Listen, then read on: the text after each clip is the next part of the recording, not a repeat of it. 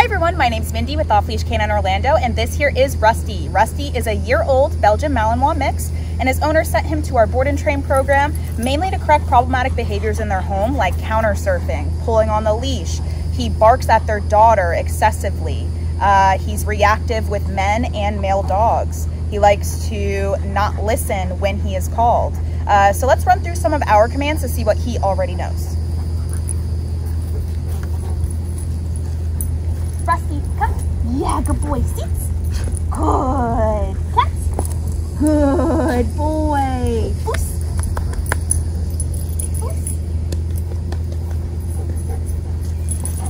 Boost.